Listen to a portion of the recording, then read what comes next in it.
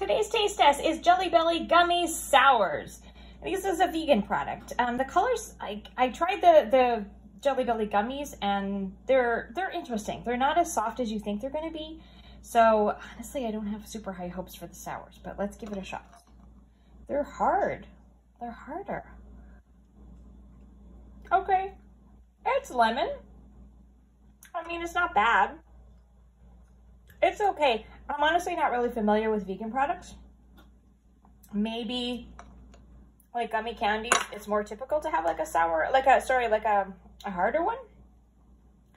Sorry, orange. Mm-hmm.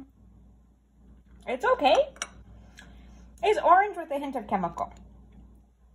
They're not great. I'm not, I'm not loving this. I'm not McLovin this. Mm. He might be raspberry. Not quite sure what that one is. Let's see. Sour berry, cherry. You know what? The more you eat, the more chemically that gets. I'm not loving this. Okay. Last one. Yeah, blue is probably, no, I was going to say blue is the best, but it's not. It's really not.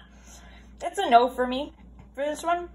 But having said that, like I said earlier, I'm not super familiar with vegan gummies, so maybe they typically are harder. So maybe like if that's your thing, then this is like, you're like, hey, this is really good. For me, no, but I really love trying it and I will share the rest. good job, Jelly Belly, though, for coming up with new things. That's pretty cool. I like that.